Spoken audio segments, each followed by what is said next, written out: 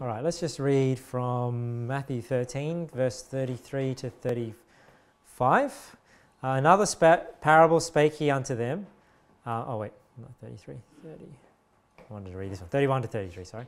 Another parable put he forth unto them, saying, The kingdom of heaven is like to a grain of mustard seed, which a man took and sowed in his field, which indeed is the least of all seeds, but when it is grown, it is the greatest among herbs, and becometh a tree, so that the birds of the air come and lodge in the branches thereof. Another parable spake he unto them The kingdom of heaven is like unto leaven, which a woman took and hid in three measures of meal, till the whole was leavened. So, what I want to talk about this morning um, is just the topic of leaven. And we'll look at um, you know, what leaven is, just tell you, tell you a bit about what I know about leaven. Um, we'll look at three types of leaven to be aware of in the Bible. And um, it, it's a very interesting topic because there's a lot of spiritual applications to leaven that I don't know whether you've realized. Um, so we'll, we'll, make a couple of those applications and hopefully it's, it's interesting for you. But, but what is leaven, first of all? Leaven, leaven is typically another word for yeast. So it's, it's like something you add to a bread um, to make it, uh, make it rise. Now, nowadays, people who make bread, like the, the real way you'd make bread, you'd, you'd capture these wild yeast and you'd make a sourdough type bread.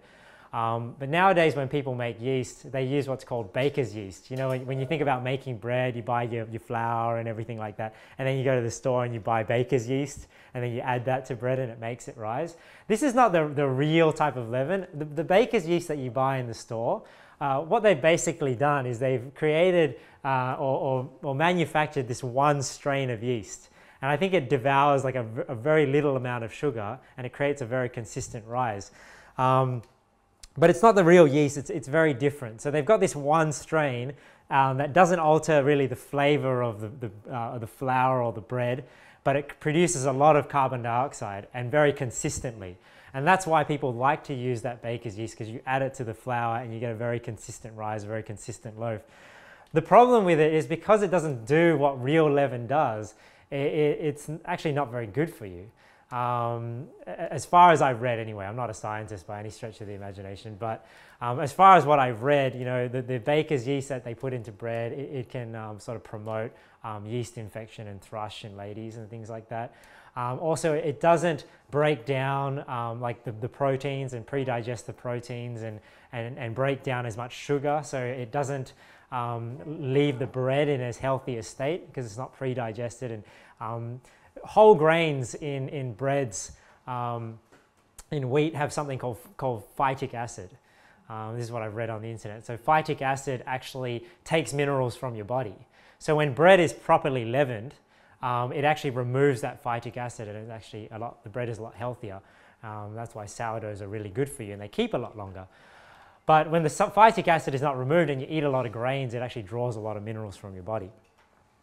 But you know, this is just one of those things where, you know, when you read in the Bible, the love of money is the root of all evil. It's just another one of those things where people have, you know, they've created this yeast so they can sell bread. Because when you go to the store, you would rather a bread that you know is going to be fluffy and the same every time. So they know that. So this is a sort of bread that sells rather than bread that's, you know, harder to chew um, is less consistent. You know, when you buy sourdough bread, sometimes it's higher, sometimes it's lower, sometimes it's uh, more dense than others because it, the bacteria and the yeast that is used to actually ferment sourdough is alive, it's real, um, and it's inconsistent because it changes with temperature and different parts of the world and all sorts of things. Um, but because it's the real type of leaven, you know, they, they can use that in bread and they can take a bit of that and put it in a new lump of bread and just keep using it for lifetime over lifetime of different bakers. Whereas you think about baker's yeast, when you put it into bread, you can only use it for that loaf of bread and then it's over. So it's a totally different type. So when we think of yeast, it's not really the baker's yeast um, that the Bible's talking about. It's talking about this, this other type of leaven, which is the real leaven. And unfortunately, just things in our world, um, you know, because of the love of money, um, people create food that isn't really good for us. And when I was thinking of this point, I actually got a bit convicted because I was thinking, okay, maybe I should start buying better bread for our church to eat on Sundays because we just buy like the cheap, you know, bread that, that you get from Coles. Maybe we'll start buying some, you know, spelt or buckwheat sourdough or something to make our hamburgers with. Uh, it's not actually that much more expensive. Um, okay, so that, that's what that's what leaven is, and you know, in the right conditions. Um, it spreads and multiplies from a small amount. And that's what we read here in Matthew 13 in verse 33. He says, Another, another parable spake he unto them, The kingdom of heaven is like unto leaven, which a woman took and hid in three measures of meal. So she's put it into this, this dough, right? Till the whole was leavened. So you see how this little bit of leaven, when it's added to this lump of dough, actually leavens the whole dough. Uh, and that's what we learn about leaven. And that's actually how it works. And we see other verses in the Bible, which we're going to turn to in a, in a moment. You've probably heard, you know, a little leaven leaveneth the whole lump. Um, now, even though, even though in the Bible leaven is used to represent something negative in the Bible, um, that doesn't mean it's inherently sinful. You know, like even the Bible talks negatively about dogs, but dogs are not sinful. Like if you have a dog, it's not like you have something that's of the devil. Even though, you know, reprobates and things like that are referred to as dogs, it doesn't mean your physical dog is a, is a reprobate. Um, same with swine, you know, cast not your swat pearls before swine. There's nothing wrong with pigs. It's just that pigs are used as a physical example to represent something spiritual. So it's the same with leaven. Even though leaven is used negatively in the Bible, um, it's not sinful, inherently wrong in and of itself. And actually, adding um, leaven to bread is a fermentation process. So fermentation process is when bacteria and yeast, you know, break down substances chemically in a food, whether it's sugars and proteins, uh, and and um, change the flavor and develop vitamins and minerals, uh, vitamins in, in that um, in that food. So adding leaven or adding yeast and, and bacteria to a food is actually a good process in the real world. So it's interesting that in the Bible, um, even though it's a it's an it's talked it's used to represent something negative, it's used to represent sin and false doctrine and how that can leaven a whole lump. In reality, it's actually a very good and healthful process um, in the real world. And, and I use the word healthful. I don't know if you guys realize, you know, we say like a food is healthy. So supposedly I read on the internet that that's the wrong way to describe things. If something is healthy, it means it's in good health. So we would say, I am healthy. But you'd say a food is, it's not a healthy food because the food is not healthy or sick. You'd say that it's a healthful food, meaning that it's a food that's healthy for you. I don't know. So some people, you know, you read on the forums and they're like, oh, this is a healthy food. And they're like, no, it's healthful, not healthy. It's like, oh, okay. so it, actually, leaven is, is, is a healthful thing in the real world because it actually makes food uh, better.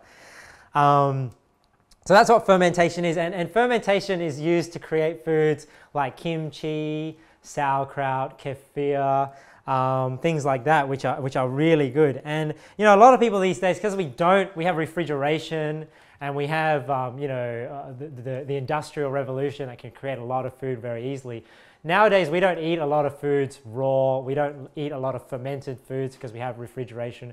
And that's why nowadays a lot of people experience gut problems where they've got intolerances to things and they have eczema and, and all these different, you know, irritable bowel syndrome. Um, because we eat all these foods and we eat a lot of grains and things like that that are not fermented and not soaked. And supposedly it destroys your intestines. And that's why a lot of people have those problems. Um, and it just goes to show because of sometimes for modern conveniences, it actually is destroying our food. So it is, I would definitely encourage you guys, if you don't know, to look into fermented foods, um, look into things that can heal that gut because a lot of uh, things actually destroy your gut health. Um, and that's why we, we hear a lot more about like probiotics and things like probiotics and prebiotics because it's all about rebuilding your gut health and um, helping you to be healthier. And you know, funny story about how, how I actually came across fermentation. You know, we, we buy um, raw milk. So raw milk is milk from cows that is, um, is not pasteurized. So pasteurized, pasteurization is when, you know, milk is heated to destroy the bacteria in, in milk. Now, there, there's obviously a debate over whether that's a good thing or a bad thing to do. I'm on the side that it's a bad thing to do because even though you destroy the bad bacteria in the milk, you also destroy the good bacteria. And because probably before, I mean, I don't even know when the laws were put in place, but probably before when people didn't take care of cows and, you know, with the Industrial Revolution and things like that, um, the milk did have bad bacteria. But, you know, you can only drink uh, unpasteurized milk from cows that are organically raised and, and, feeding on grass. But now they feed cows, you know, grain and they, and they pump them full of hormones. Obviously, the milk is not going to be the quality it needs to be. So in order to combat that, was it William Pasteur, I think his name was, created the pasteurization technique to, you know, uh, heat the temperature up to 40 or 50 degrees or something to destroy the bacteria. Um, but what that actually does is it makes the, the milk devoid of the good bacteria that is actually found in cow's milk from the, from the grass. Um, it also, some people think it actually changes the chemical composition of the protein, and that's why a lot of people um, experience milk intolerance. But um, raw milk is like yogurt. Raw milk that is unpasteurized and, and gotten from cows that are organically raised and fed on grass actually has that good bacteria in it. And when you drink it, actually helps you to digest the lactose. So unfortunately, you know, it's, it's actually illegal in Australia to sell raw milk as a food. So the way they get around the law is they sell it as a bath product, as a cosmetic product, and you can buy it and people drink it anyway. And now they're trying to stop us even more from, from buying healthy milk because they're trying to get the farms that sell unpasteurized milk to add a bittering agent in it so people can't drink it. So this is just how tyrannical, you know, the Food and Drug Association is in Australia. They're just trying to make decisions. I mean, why can't people just make decisions for themselves? I mean, you know, nobody's stopping you from eating shampoo or things like that. But then they have to, you know, they have to put these regulations on food because they pe think people are too silly to make decisions for themselves. And you know, sometimes churches are like that, aren't they? Sometimes churches are the type where they're trying to regulate the thought life of everyone in church. They're trying to regulate the conversation because they're a bit like the Food and Drug Association. They want to regulate what everyone's eating rather than you know allowing the Holy Spirit to help people to decide what is right and wrong. Um, we can make these decisions ourselves. I mean, God has given us um, His wisdom directly. You know, we don't need somebody to mediate for us to decide what, what we can and can't eat. We have the wisdom from above. Um, so, anyways, uh, so, so, so we, we, drink, we drink raw milk. You can get it from a couple of places in Australia still, but you know, I would definitely encourage you to, to, to I'm all for raw milk, and the more people that buy it, the cheaper it's going to get. And, and maybe we can change that law, right? Because right now it's like nine, ten dollars for two liters, um, just because there's not much demand for it, because not many people know about it. So we drink raw milk, and the way I can actually, so this is what I got, this is where I'm coming to. The way, the way we found, I found out about fermented foods is because we, we, get our raw milk delivered by like a on, on, online organic grocery company. And when we were living in Hillsdale, the, the, the courier driver accidentally delivered our milk to the wrong apartment. So he actually delivered it next door. So when I called them, I was saying, you know, I still haven't got my everything. And so they sent it again because they're like, oh, you know, well, you've got milk in there. So that's we just send it again. So, so we got it again, and then I figured, well, I'll, I'll oh no, no, what happened? Did our, did our neighbor come over and said, how, how, did we find, how did we find out that it was next door? I, I can't remember. Anyway, we found out it was next door, and I figured, well, if, if you know, because even though the milk might not be good anymore, the vegetables and everything would still be good, so I'll still get that and use it. So we, we, we took our food back, and then um, the, the food, the, the milk had gotten warm. But when I smelt it, it didn't smell like regular milk. Because you know when regular milk goes off, it, gets, it goes pungent and rancid and really disgusting. Whereas this one smelled kind of sour. So I was thinking, oh, maybe I've, I've heard things about, you know, fermented drinks and things like that. So I thought I'd look up, is it, is it safe to drink soured raw milk? And then I read all this stuff about once raw milk actually sours, it's actually better for you because it's actually fermented. Because raw milk has the bacteria and the yeast in it from the cows, that normal milk that you buy from the store pasteurized has all been killed. See, that goes off because it's devoid of all the bacteria and yeast. But raw milk, if you leave it in the bottle and allow it to quote unquote like go off, it'll actually ferment and it'll sour and it'll turn into an actually a healthier drink. So that's when we started making fermented milk and fermented kefir. We're like looking at it, now we're doing fermented like cabbage and all sorts of stuff. So it was a funny story how, how I actually came across it. I actually happened across it by chance.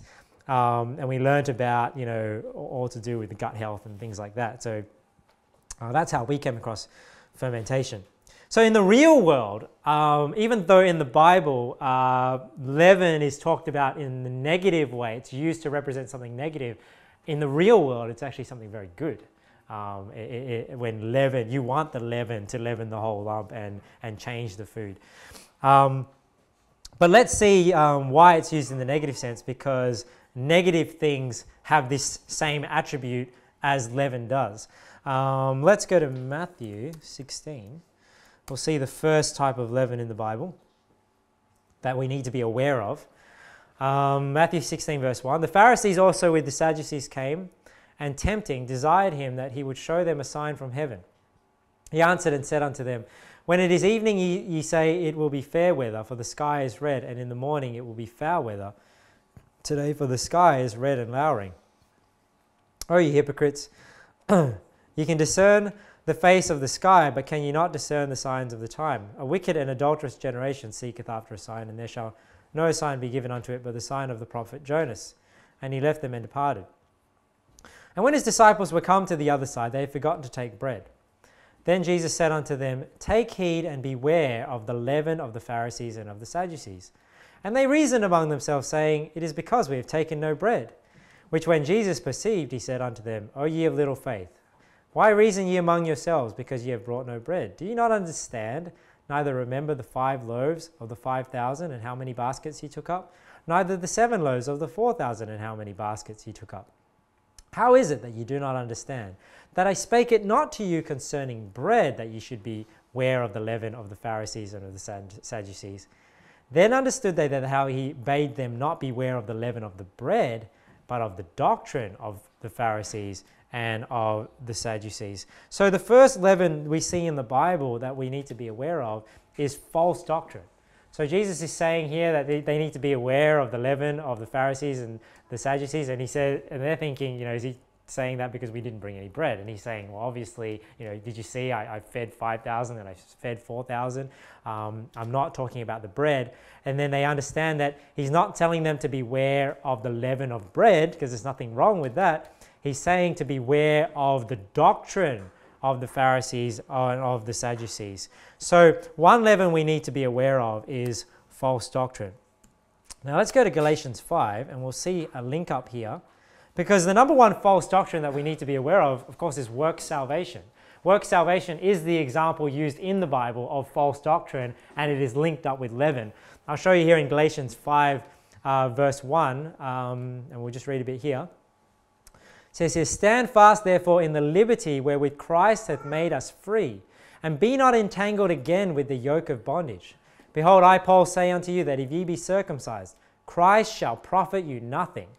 For I testify again to every man that is circumcised that he is a debtor to do the whole law. And that's true. You know, like if somebody believes they have to do any amount of work for their salvation, Christ doesn't profit you anything.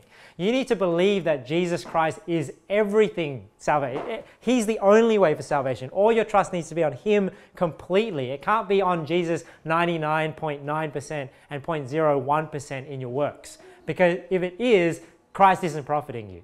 You only have two choices. It's either all Jesus or it's all your works. That's why the Bible says here, I testify again to every man that is circumcised. This is the, the example used here that people believed they were trying to teach that you need to be circumcised in order to be saved.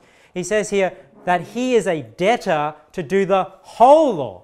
So he's saying here, if you think you have to do one work in order to be saved, you actually have to do every work to be saved because you're under the law. But if you believe on the Lord Jesus Christ, you're no longer, longer under the law. Now you're under grace. So there, those are your two options. You can't be in between. Um, you know, Romans uh, 11, 6, you know, if it be of works, then it is no more of grace, otherwise work is no more work. Uh, but if it be of grace, then it is no more work, otherwise grace is no more grace. Um, verse 4 Christ is become of no effect unto you. Whosoever of you are justified by the law, ye are fallen from grace. For we through the Spirit wait for the hope of righteousness by faith. For in Jesus Christ neither circumcision availeth anything nor uncircumcision, but faith which worketh by love. So he's saying, see, in Jesus Christ you're saved. It doesn't matter whether you're circumcised or uncircumcised. That's not going to change whether or not you're saved. It's your faith on Jesus Christ. You did run well. Who did hinder you that you should not obey the truth? This persuasion cometh not of him that calleth you. So he's saying you didn't learn this from Jesus Christ. You learned it from somebody else because he says, who did hinder you that you should not obey the truth? You learnt this from a man, you didn't learn this from the word of God. This persuasion cometh not of him that calleth you. And look at this a little leaven leaveneth the whole lump. So, false doctrine here is, is shown uh, to act like leaven, where when leaven takes hold in a lump, it starts to spread and we have to do something to stop that. And that is what we see these days. We see work salvation spreading through churches. We see, you know, this doctrine of having to re- repent or turn from your sin to be saved. I mean, you go and talk to, to bishop after bishop after bishop, and how many of them will tell you, yes, you have to turn from your sins to be saved? And these were churches that were once preaching salvation by faith. Um, and, and I, am not exactly sure where they're getting it from, but people must not be reading their Bible and realizing what repentance really is. And it spreads like leaven from one church to another to another till the whole lump is, is leavened. And, uh, and that's the danger of churches being in these denominational yokes, even though they don't consider themselves denominations. They get together and they're really close and they care what each other thinks because what happens is, is when one person makes a stand for the truth, he gets ostracized by the rest. And um, should he care? He shouldn't care, but unfortunately, they, they, they do.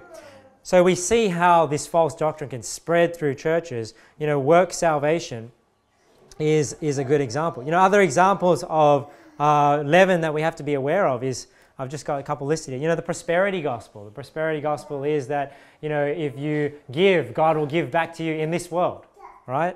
Um, you know, blessing by obedience. You know, I think that's a false doctrine that creeps into churches and it gives people, um, it removes their assurance of salvation. It thinks, makes them think that God does not love them because they're not obedient. And, you know, who, who is obedient enough for, to be under the blessing of God? If the blessing of God as a believer is earned by obedience, then who's got the blessing?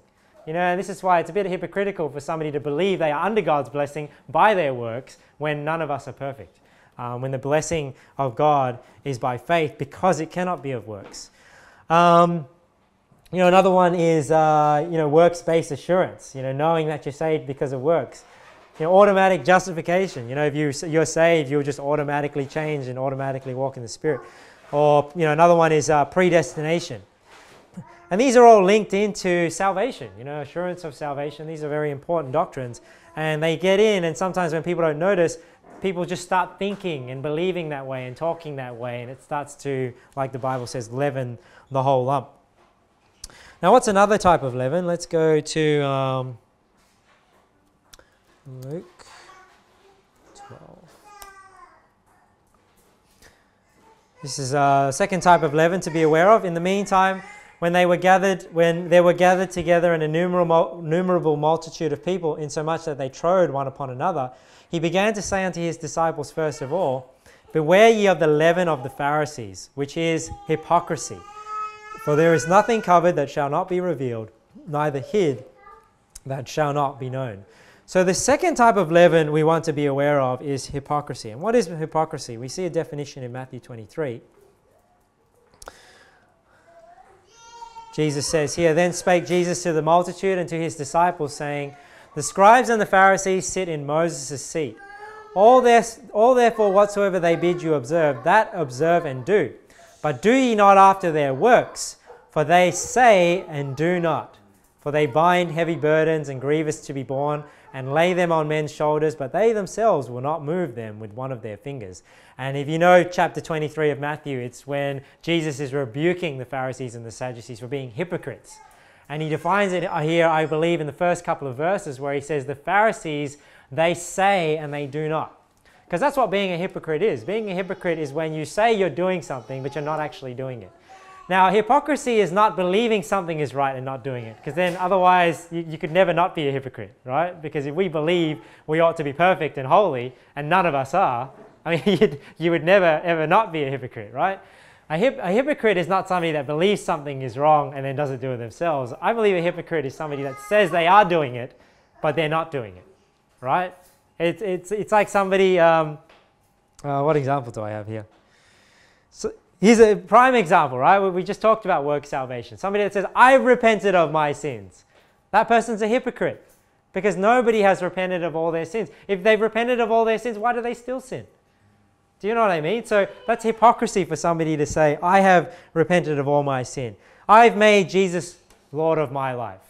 Yes, we strive to make Jesus Lord of my life, but it's something that we strive for. But for somebody to say, I have done that, why do they still sin? Jesus said, you know, why call you me Lord, Lord, and do not the things that I say?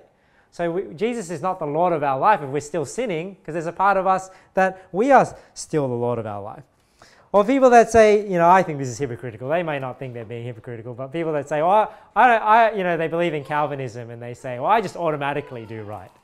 Because they don't just automatically do right. Because why do they still sin? Because if they just automatically did right, automatically walk in the Spirit just because they're saved, why are they still sinning? So obviously they don't automatically just do right because there are, there are times when they don't do right. Um, and they make choices in their life and I already touched on this one. You know, I'm blessed by God by my obedience. I believe That's a hypocritical statement because they're not blessed by God by their obedience because nobody is obedient enough to, to be under the blessing of God in the Old Testament sense. So, this is uh, the second type of leaven we ought to be aware of. So, number one was false doctrine. Number two is hypocrisy, saying, um, so false doctrine is what is wrong, right? Hypocrisy is thinking that you're doing right, but you're actually doing wrong. And the last one we just want to look at.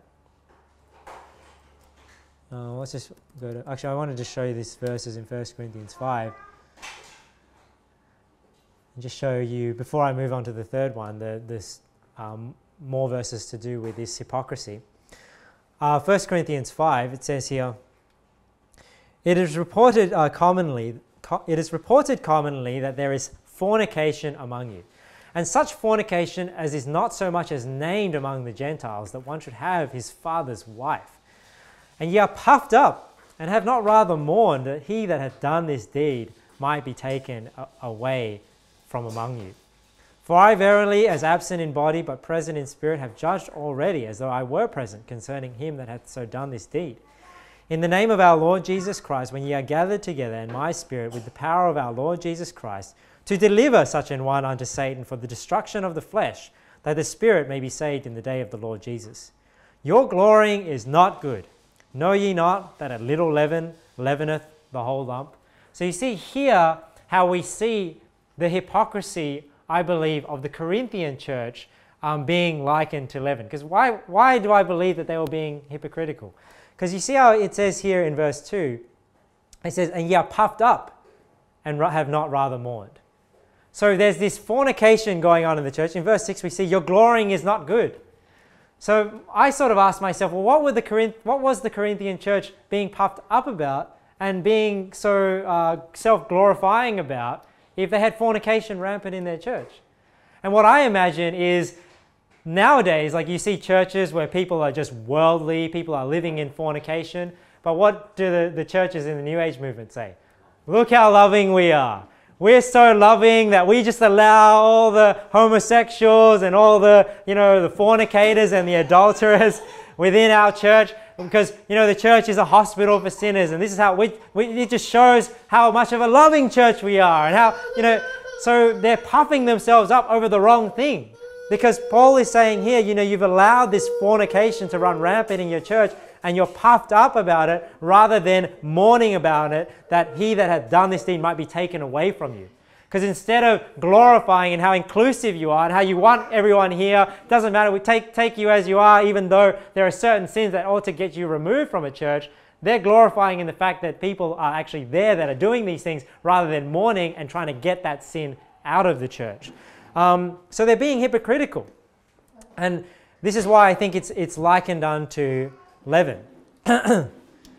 now, the other thing in here, so not only do I think the Corinthian church is being hypocritical here because they're saying that they're being loving when they're not being loving, because the actual thing that they should be doing is um, uh, getting that sin out of the church. the other leaven I think we need to be aware of, which is similar and sort of linked into the same, is just blatant sin in and of itself, right? Uh, let's continue to read on here in 1 Corinthians 5. So he says here in verse 6 Your glorying is not good. Know ye not that a little leaven leaveneth the whole lump? Purge out there, purge out therefore the old leaven, that ye may be a new lump, as ye are unleavened. For even Christ our Passover is sacrificed for us. Therefore let us keep the feast, not with the old leaven, neither with the leaven of malice and wickedness, but with the unleavened bread of sincerity and truth. So you see again, it's linked up with false doctrine and the truth, right? Because malice is when you want to do something evil towards somebody else, and wickedness is things that are sinful. Uh, but with the unleavened bread of sincerity, so when you do something sincerely, it's when you do something lovingly and with the right intention and in truth. So we see there the, the opposite malice, wickedness, and sincerity and truth. So he says, I wrote unto you in an epistle not to company with fornicators, yet not altogether with the fornicators of this world or with the covetous, or extortioners, or with idolaters, for then must ye needs go out of the world. But now I have written unto you not to keep company if any man that is called a brother be a fornicator, or covetous, or an idolater, or a railer, or a drunkard, or an extortioner. With such an one, know not to eat. For what have I to do to judge them also that are without? Do, do not ye judge them that are within? But them that are without, God judgeth. Therefore, put away from among yourselves that wicked person. So, we see here in the Bible that churches are not just meant to be anything goes. Yes, we're all sinners, but there are certain sins that will get you kicked out of a church. And to be honest, you know, if I find out things like these are happening in church, I, I will approach you. So it's not that I know anything like this is going on in church, but you need to know that if I find out things like this, I will approach you about it. I don't want to approach you about it. I'd rather that you know it says this in the Bible and just not do it, right? And then keep our church unleavened. But there are certain things in here, and we see the list here, you know.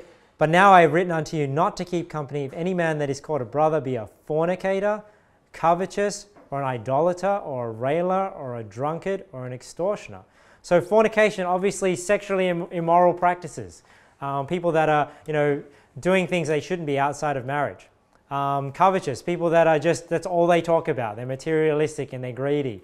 Um, an idolater is uh, uh, probably self-explanatory if you're, if you're worshipping idols. So a, a, railer, a railer is somebody that is just uh, saying negative things about other people all the time. Um, a drunkard, somebody has wine in excess. An extortioner, somebody has, you know, uh, like blackmailing people, has, uh, you know, I think immoral business practices. These are the sort of people where, you know, and I, and I don't believe you just get kicked out at the first sign of it. There is a, there is a, a method where you approach the person one on one and then three, two or three witnesses, and then it's brought before the church. So there is a, uh, a, a you know, like a, a method of escalation to escalate these things.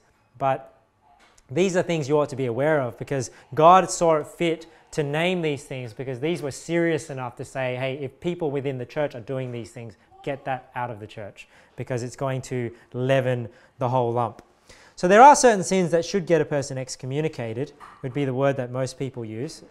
And you know why? Because you know in a world where the church is not the government, that, that's all you have left, really, because you can't punish people criminally. You can't execute people for doing things wrong, right? So th- all you have left is to disfellowship them and say, you know what, we, we, it's, it's not that we don't love you, it's not that we don't want you here, it's that if you're not going to get right and stop doing what you're doing, we're not going to let you leaven the lump right? Because we've got children here. We've got, we want to create an environment that is godly for people. That's what the whole purpose of church. But if church is just allowed to let the leaven of sin just run rampant, then what is the church anymore? It's meant to be a haven from the world. But if we let it become just like the world, then it's, it's removing one of its purposes. So those are the three leavens we can see in the Bible. We see the false doctrine, we see uh, hypocrisy, which is, you know, saying you're doing something and you're not actually doing it. And then we just see the blatant sin, the malice and the wickedness um, that is allowed to go rampant in a church and, and, um, and spread and multiply and infect other people. Now, what are some spiritual lessons we can learn from leaven? So remember, in the real world, leaven was good. So we want to encourage it to multiply and to, to, to produce because we want it to, to leaven our food. But in, in the church, we see here uh, in verse, uh, there we go. Seven, he says here, Purge out therefore the old leaven, that ye may be a new lump. So the church here is actually used in the analogy like we are a lump of dough, right? All of us together. We're a lump of dough, and we need to keep this dough unleavened. So what I was thinking about is what are the factors that help leaven to thrive in the real world and maybe we can learn something about how we can deal with leaven in a church. And let me tell you a couple of them. Now, number one is when you want to ferment something, um, you need to keep it in the dark. In, in the dark. Uh, and, and why is that? Because UV light actually destroys the bacteria and the yeast and will actually cause them to die so that they don't ferment. That's why whenever you make bread and you leaven it, they tell you to put it into a dark place. They put, put a cover over it. It allows the yeast to work and to, to create the carbon dioxide that actually rises that bread. That, that was something I didn't know about bread. Did you know that the, the, when, you, when you eat bread and it's all like holey and got the airs in, that's actually created from the carbon dioxide that comes off the yeast? I didn't know that. I didn't know how they, they made it all spongy, but that's what it is. So as the yeast um, consumes the sugars, it creates carbon dioxide, and that carbon dioxide is what is actually pushing the bread up because it's creating all that gas inside and actually creates the pattern within the bread. And that's why they like the baker's yeast, right? Because when you use baker's yeast, it's a very consistent bubbling. But with when you see a sourdough, sometimes you cut it open and there's like a big hole in it because you know it's not consistent with how it's creating the gas. So um, what was my point? So my point is, you, you, when you want to leaven something in the real world, you put it in the in the dark because light is going to kill it. So what can we learn? What, what spiritual application can we can we apply to that? Well, if leaven, if the if the sin and the false doctrine is multiplying in a church, how do we kill it? Well, we kill it with extra light, right? So we're going to kill physical leaven with physical light one way we can hinder the process of spiritual leaven is with spiritual light. And what is spiritual light? Well, let's go to um, John 1. And obviously, you guys know this, and we're just going to show a couple of verses to you. You might, you might not know this, but John 1. Um, let's just read from verse 1. In the beginning was the Word, and the Word was with God, and the Word was God. The same was in the beginning with God. All things were made by him, and without him was not anything made that was made. In him was life, and the life was the light of men. And the light shineth in darkness, and the darkness comprehended it not. There was a man sent from God whose name was John. The same came for a witness to bear witness of the light, that all men through him might believe. He was not that light, but was sent to bear witness of that light. So we see here that Jesus Christ is that light. Jesus Christ is the Word of God. We see here in Psalm 119, 105 as well. It's a famous verse. It says here, Thy word is a lamp unto my feet and a light unto my path. Uh, 2 Peter 1, 16. Look at what Peter says here. He says, For we have not followed cunningly devised fables when we made known unto you the power and coming of our Lord Jesus Christ, but were eyewitnesses of his majesty. For he received from God the Father honor and glory when there came such a voice to him from the excellent glory This is my beloved Son, in whom I am well pleased. So he's talking about here his experience on the Mount of Transfiguration when he saw the Lord Jesus transfigured before him. He says, We saw Christ in his majesty, mm-hmm. we heard the, the voice of the Father. And this voice which came from heaven, we heard when we were with him in the Mount. But look at this. He says, We have also a more sure word of prophecy whereunto you do well that ye take heed. So he says, You take heed unto the word, the sure word of prophecy. And look at this as unto a light that shineth in a dark place, until the day dawn and the day star rise in your hearts. Knowing this first, that no prophecy of the scripture is of any private interpretation. For the prophecy came not in old time by the will of man, but holy men of God spake as they were moved by the Holy Ghost. So here Peter is saying even more sure than his experience on the Mount of Transfiguration is the Word of God, is the, the sure word of prophecy, which is the Scripture. And he says, Take heed unto it because it's like a light that's shining in a dark place. So you can see here that you know if we want to kill the spiritual leaven, we need to shine light on the spiritual leaven. We need to preach the Word of God. We need to know the Word of God because that's going to expel the false doctrine. That's going to kill off the sin. Because if you don't know you're doing wrong when you're doing it, how is it going to get purged out of your life? Right? And this is what the light is. The Bible says, Whatsoever doth make manifest is light. And this is why preaching can't just be a shallow, emotionally driven sermon. It needs to be something that actually teaches you something that, that like the Bible says, preach the word and, and rebuke and exhort with all long suffering. We need to explain these things to people and explain them the word of God so it shines light into the church. It shines light into people's lives so they can purge out this leaven. They can kill this leaven that is not in, only infecting their own life, but it's spreading and leavening the lump of the church.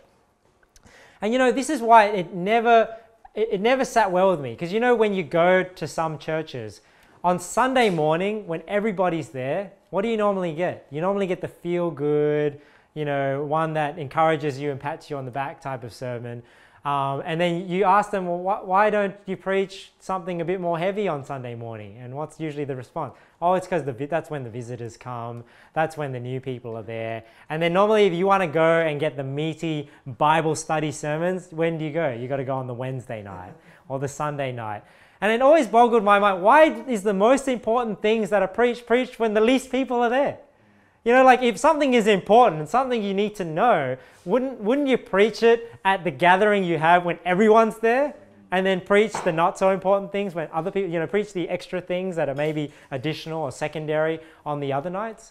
So, you know, this is why on Sunday morning I try to, and I know we only have one time a week here, but I try to give you something that's a bit heavier because this is when everyone's here. If everyone's here, why not say something that is actually a bit a, a bit heavier and teaches you something? Um, so this is this is one way. So one way to allow leaven to thrive is you leave it in a dark place, right? So we get some light onto the leaven, we can kill the leaven. Spiritual leaven can be killed with spiritual light. Now, what's another factor that uh, helps leaven to grow? Another factor is the temperature of the leaven, right? Now, this is an interesting one because when, when, you, when you want something to leaven, right, and something to ferment, you can't have it too hot or too cold, right? Because if you have it too hot, it kills the leaven. But if you have it too cold, the leaven won't, won't do its thing. It will actually hinder the leavening process. So what do you have to do? You have to have it lukewarm. So when we think about this in a church environment, what allows leaven to thrive? It's a lukewarm environment, isn't it? Now, let's go to Revelation 3. I'm trying to show you where I'm going with this. When we think about lukewarmness, the verse we would go to is the Laodicean church in Revelation. Look at this. And unto the angel of the church of the Laodiceans write, These things saith the Amen, the faithful and true witness, the beginning of the creation of God. I know thy works, that thou art neither cold nor hot. I would thou wert cold or hot. So then, so he's saying here, I would thou wert cold or hot, saying, I want you to be either cold or hot. So then, because thou art lukewarm and neither cold nor hot, I will spew thee out of my mouth. So, so God is saying here, being lukewarm is when you're neither cold nor hot. Um, let's just read on because I wanted to get to a verse further down. He says, Because thou sayest, I'm rich and increased with goods and have need of nothing, and knowest not that thou art wretched and miserable and poor and blind and naked. So here's the, the hypocrisy, right, that we talked about. I counsel thee to buy of me gold tried in the fire, that thou mayest be rich, and white raiment, and thou, that thou mayest be clothed, and that the shame of thy nakedness do not appear, and anoint thine eyes with eye salve, that thou mayest see. So we see here the counsel of Jesus Christ is that like that light that's, that's going to these guys. As many as I love, I rebuke and chasten. Now look at this. Be zealous, therefore, and repent. So, what was the, the, the solution to being lukewarm? It's to be zealous. So, when I think of physical heat affecting physical leaven, what is the spiritual heat that's going to affect, affect the spiritual leaven? It's the zealousness, right? The passion for the truth. So, if everyone in church is zealous and passionate, it's going to be a hot environment, right? And the hot environment is not going to allow the, the leaven to reproduce and to multiply because it's going to kill it. Now, what's interesting about leaven is if you go the opposite way, if you go cold, it doesn't actually kill the leaven. Because what you can actually do with sourdough starter or kefir grains, you can actually freeze that and put it in the freezer. And then once you've defrosted it, put it back into a lump. And once it gets back to a warm temperature, it'll start, it'll revive and it'll start to multiply again. Now, isn't that interesting? If you put it into heat, it kills it. But if you put it into cold, it doesn't actually kill it, it just hinders the process. And that's the same in a church, isn't it? When everyone's just cold, maybe that's why Jesus is saying, I'd rather you be cold than lukewarm, because when you're lukewarm, that allows the leaven to just multiply and multiply and multiply. But when you're cold, at least it's going to hinder that leaven. Because you know, churches that don't care about the truth, they don't care about soul, they don't care about anything, nothing's going to spread in that church because they don't care about anything. Right? So when, when, when a church is cold, false doctrine and sin's not going to spread because they don't care about anything. Right? It's because they're not talking about the Bible. They're talk- um, but when, and when, when a church is hot, they care about things. That's where, you know, somebody says something false, somebody's going to correct them. We're going to correct one another. We're going to sharpen each other and keep the heat up in this church. But what, what is lukewarm? Lukewarm could be everyone's half in, half out. But think about this lukewarm could be everybody's cold, and there's just a little group in the church that's hot. right? Have you ever seen that in a church where the rest of the church is cool, cool, cold, right? They don't care about anything. They're just going along with the flow. But then there's this little group in the church that gets on fire for God. And what's, da- what's dangerous there is if they get on fire with the false doctrine. And I've seen that happen in churches when there's this little group, you know, they want to serve God, they want to get on fire for God, and they get involved with the ministry like Living Waters or Way of the Master. And they're like, hey, we're going to get this soul winning fired back up in church. And they bring in all the Living Waters and all the Ray Comfort and Paul Washer and blah, blah, blah. And they bring it in, and what happens? A false gospel starts getting preached and then it spreads throughout the church because it's, now it's now it's lukewarm because now you've got cold and hot people mixed all together and now that leaven is able to spread and leaven the whole lump so that's an interesting thing about um, the heat of leaven that hot will kill it cold just stops it for a minute but once you get that temperature back up to lukewarm it'll revive and it'll um, spread throughout the church So, like, just like everything else in life, you know, when it comes to temperature, you know, everything tends toward tends towards room temperature, doesn't it? If you leave something out that's hot, it'll tend towards room temperature. If you leave something that's cold, it'll also tend towards room, temperature. This is why we have to be careful because if we don't do anything about the leaven and we don't do anything about the temperature of this church, it'll automatically, because of sin, just tend towards room temperature. So you got to think about your own life. You know, how do you apply this to yourself? You know, what sort of temperature are you adding to this church? Are you adding cold to this church or are you adding heat to this church? Because even though some of us might be hot, if you're coming in cold, you're just bringing us closer to being lukewarm. And it's like I talked about a couple of weeks ago, I can't remember, but you know, even the church is like a ground and we're all planted in this ground. And, and we're not an island. We, we affect the church in one way or another. Because even though a, a, tree might be planted in the ground and not fruitful, it still takes up space in the ground. It still takes sunlight that other trees could have got. It still takes nutrients from the soil. So, what I'm saying is, in this church, there's no neutral position. You need to think about how your life is affecting the rest of the church because it will. It'll either have a positive effect or it'll have a negative effect. What sort of effect do you want to have on this church? Um, are you adding heat or cold to the church's temperature? How are you encouraging or discouraging the leaven that is in this church? Because we're not perfect, right? There's always going to be leaven in this church. What are you doing to hinder it, kill it, or um, make it continue to multiply? Now, the third factor when it comes to leaven, um, so you've got you need to keep leaven. If, so if you want to ferment, you need to do these things. If you don't want if you don't want the church to ferment, you need to stop these things. So with, with ferment, fermentation, you want to keep it in a dark place. You need to keep it in a lukewarm environment so it allows that um, leaven to grow. The other thing you have to do with leaven is you need to have it in an anaerobic environment.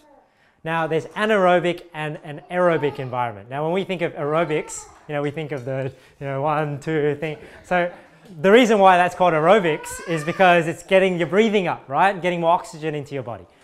Now, anaerobic is a, an environment where there's no oxygen. Now, when it comes to fermenting, you want to keep the ferment in, in an anaerobic environment. You need to keep the oxygen out. That's why when you see fermentation vessels, there's always that little airlock on the top that has water in it.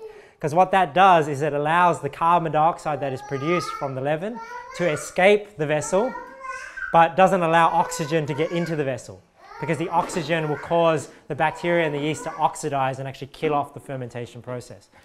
Now, how do we apply this to spiritual leaven? Now, I don't know if this is stretching the analogy too far, but you know, when I think of oxygen, I think of breathing, right? Because we breathe in oxygen, the breath of life. Now, the Bible says, uh, "He that uh, the fruit of the righteous is a tree of life, and he that winneth souls is wise." So, when we think about the breath of life in a church, what is that? It's the multiplication, right? It's, it's people being alive and wanting to bring forth new life. So I think the oxygen, when it comes to leaven, could be compared to how alive a church is in a sense of is it bringing forth new life? Because just like the Bible says that Sarah's womb was dead because it was barren, it didn't bring forth new life, a church can be dead not because it's not saved, it's just not bringing forth new life. Now, churches that are starved of oxygen right? They tend to leaven a lot quicker, right? Because when they don't have a focus on soul winning, they don't have a focus on bringing forth new life, the, the malice and wickedness increases, Don't you find that in churches? When they don't have a greater goal to keep everyone in one direction, they start bickering amongst each other. They start bickering amongst um, each other about false doctrine. And I'm not saying that false you know, doctrine is not important, but when you have a greater goal, sometimes you can put those differences aside and still work together. Because it's sad when you see people, and there's already so little of us, fighting over one another and, and, and separating from one another when we have a greater enemy. You know that I mean how I mean let's let's band together against Islam. Let's band together against Buddhism. Let's band together against these others. And I'm not saying that false doctrine is not a big deal. But there are some things where even if you disagree on a doctrine, and maybe if, it, if it's a major one, the life in a church, the goal to bring forth new life and get other people saved, can, can be a way to stamp out that leaven of malice and wickedness. Um, so I just think it's interesting that, you know, fermentation requires an oxygen-free environment. It's to do with breathing. The Bible talks about the breath of life. Um, you know, no soul winning gets people debating and separating over doctrine. Um, soul winning gives people a higher goal, which encourages them to put their differences aside. And you know, two, sometimes two people will work together for a greater goal of, of bringing life into the world. I mean, think about um, a lot of parents, right? Even though there's strife in, in relationships, sometimes what, what will happen? Parents will say, you know what, we're going to put our differences aside because we want to create an environment for this, for this child to grow up in. And that's why a lot of times if people don't have a healthy relationship, they get divorced after the children leave the home because they were at least willing to put their differences aside. They were at least willing to make things work for the children. And it's sort of like that in a church. You know, we bicker and, and we don't, we're not um, mature about how to deal with our differences. Uh, you know, we're going to affect the younger people in the church, like the younger people who are uh, younger spiritually. And sometimes those of us who are more mature, we have to bear the infirmities of the weak, right? We have to try and get along and, and have that environment so that this church is a place where the younger people can grow up in the nurture and admonition of the Lord. And you know, this, this is um, like my relationship with my sending church because you know, a lot of people thought when I started this church, I came out and all of a sudden I just changed. Like as though I was just pretending to be somebody I wasn't at my old church, and then when I started this church, I changed. And the reason why they have that impression is because a lot of them didn't know me, right? They didn't know what I believed, they didn't know what I stood for and the, the plans that we had for this church. But the people at Lighthouse Baptist Church did know. So it wasn't a surprise to them. And it's funny because I, haven't put this online and, and um, I didn't put this on, on, on the internet. But um, at my ordination um, um service, uh, one of the men of the church actually stood up and gave a testimony about me. And, and the thing that he actually shared was, you know what? Victor came, he was different, but he could put those differences aside because he wanted to, to work in this church and get people saved.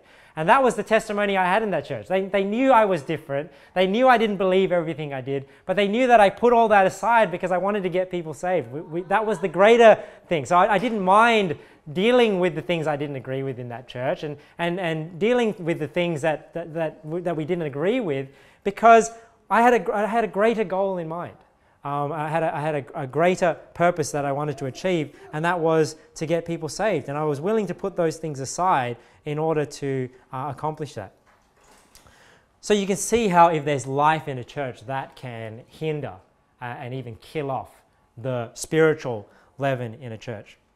Now, the last two things I just want to say, these are not really factors that, that help leaven to thrive. So if you remember those three factors, it's dark place, lukewarm, and um, oxygen-free environment. The other two things I thought were interesting, um, just to do with fermentation that I thought of. The, the way fermentation works, the bacteria in the yeast, the, the way they actually multiply is they consume the sugars in that food. And that's why, you know, yogurt without sugar is sour, right? You know, you buy natural yogurt, it's like soured because it's soured milk. Yogurt is just a bit different. I think they use a different starter and at a certain temperature so that they can create that nice consistent creaminess. But um, basically when you ferment something, it becomes sour. That's why kimchi is sour, sauerkraut is sour. Anything that you ferment, you know, uh, fruit wines will turn into vinegar, they'll sour uh, because it's consuming the sugar in that food. And I just thought, you know, maybe that, that works a bit like, like the church. Whereas, you know, in a church, you don't want this to ferment, right? You want the fellowship to be sweet. You know, we always say that. We want sweet communion with one another. We want, We want, we want uh, you know, the, the lump, this dough to be a sw- the, the sweet bread, like sweet like honey. But if you allow the leaven to ferment this dough, what happens? It becomes a sour place. It becomes a bitter place, doesn't it?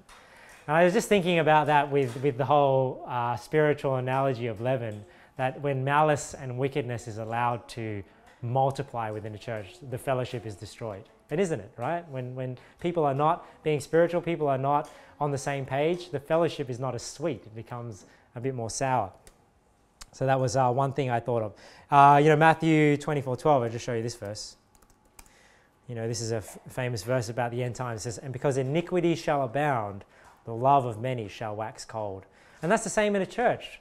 When iniquity abounds, the love of many waxes cold. And, and don't think of iniquity just like the blatant sins like fornication and lying.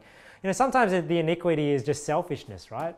Because sometimes we, we're, so, we're so concerned with our own affairs, with ourselves, we don't really consider the other people in church. You know, because of this iniquity, this, this pride and self absorbedness, um, the love of many waxes cold. We, we, we forget to love one another and think about one another. And I'm guilty of this too. You know, obviously, I get so sometimes so caught up with life and even with my own family that I don't always pray for you guys as, as I ought and, and, and, and think about you guys as I ought and think of, of how I can be a blessing to the other people. Because this is a one way, right? We can kill that leaven, right? We can kill that leaven and have a, an unleavened lump, remember, with sincerity and truth. Um, we do things for people sincerely. The other thing as well is um,